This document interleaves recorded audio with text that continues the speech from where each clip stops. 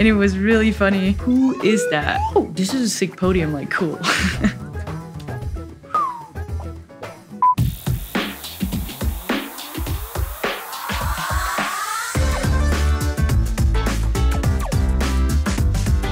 I'm Mathilde Gremaud, and I'm gonna talk you through my final run at Beijing 2022. Well, okay, like just my coach saying, "Let's go, you can do this," and uh, then I drop in and. Um, yeah, my first trick was pretty good, and I. Oh no!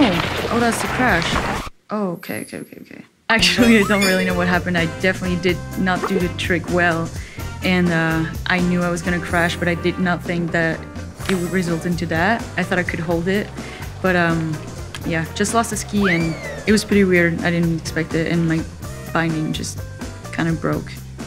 But yeah, I guess that's my second run that's what happened on the first rail. I could really, I could really feel that it went well and felt quite fluid. Like it felt good and, and turned like by itself. And then first, uh, second, and third rail were also pretty good. I think I, I was really trying to be clean after having a good first rail. Then the first jump, I flew a little further than I expected, but I was really happy to land.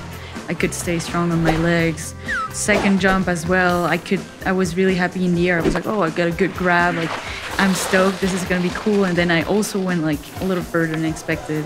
Um, and then the last run, last jump, I did not do like the most difficult trick I could. I kind of played it a little safe, but I yeah I try to be really clean and have a good grab.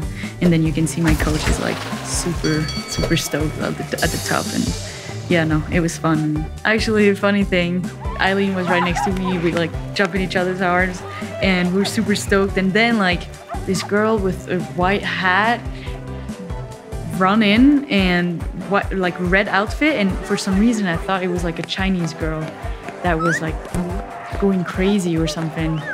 And I was like, well, who's that? And then it took me like three seconds to realize it was Sarah, my teammate, and I was like, "Where did you just come from?"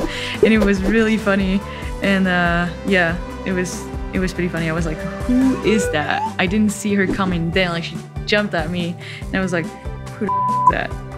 But yeah, she was she was really really happy, and she was like crying for me. So that was that was pretty cute. We were stoked about being on the podium and like being all all of us three together. Um, because we're like this is a podium that like we we like it's like a good a good trio so yeah we were stoked oh this is a sick podium like cool